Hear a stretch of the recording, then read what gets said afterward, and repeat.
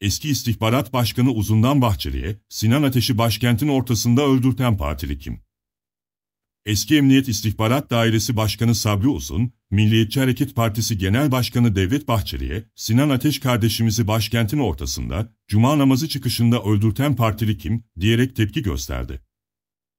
Eski Emniyet İstihbarat Dairesi Başkanı Sabri Uzun, Anayasa Mahkemesi ve Başkanı Zühtü Arslan'ı hedef gösteren Milliyetçi Hareket Partisi Genel Başkanı Devlet Bahçeli'ye tepki gösterdi. Ankara'yı kandil çeviren siz değil misiniz?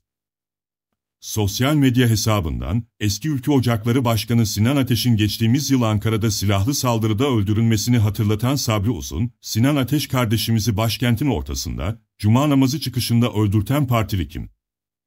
Siz, Ankara'yı kandil çeviren değil misiniz, dedi. Ne olmuştu?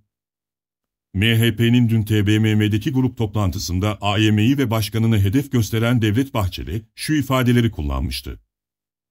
AYM Başkanı, Zillet İttifakı'nın yüksek yargıya yuvalanmış hastalıklı koludur.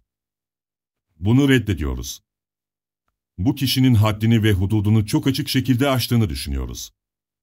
Türk devletiyle uğraşma, cesaretin varsa kandil git.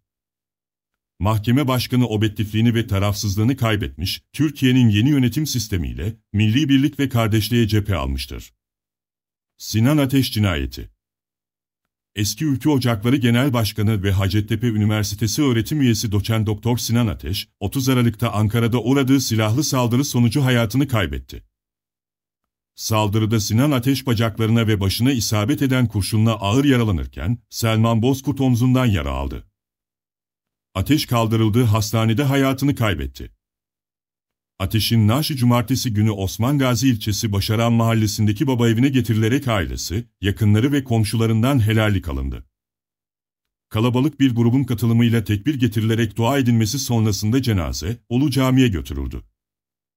Cami bahçesinde öğle vakti kılınan cenaze namazına Sinan Ateş'in ailesi ve yakınlarının yanı sıra AK Parti Bursa Milletvekili Refik Özen, Bursa Büyükşehir Belediye Başkanı Ali Nur Aktaş, İyi Parti Grup Başkan Vekili Müsavat Dervişoğlu ve Bursa İl Başkanı Selçuk Türkoğlu ile çok sayıda kişi katıldı.